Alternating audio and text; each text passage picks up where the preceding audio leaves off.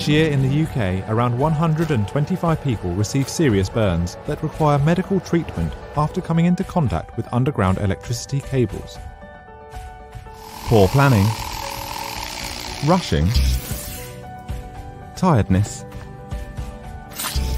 and distractions can all lead to accidents.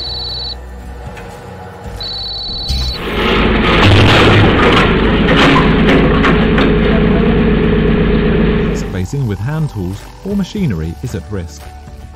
Do a risk assessment for the immediate area, making sure everyone is aware of existing electricity cable routes, and always use a cable avoidance tool to scan for cables. Practice to use a permit to excavate, as this will help clearly define persons with key responsibilities, the scope of works, preliminary planning requirements, including permits from relevant authorities, specific controls and hold points with respect to identifying and locating services. A permit to excavate helps work crews understand the process.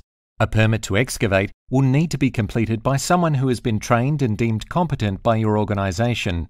However, everyone is responsible for making sure that all steps on the permit have been completed and are understood. Prior to excavating, ensure all relevant personal protective equipment is available on site as identified in the SWMS.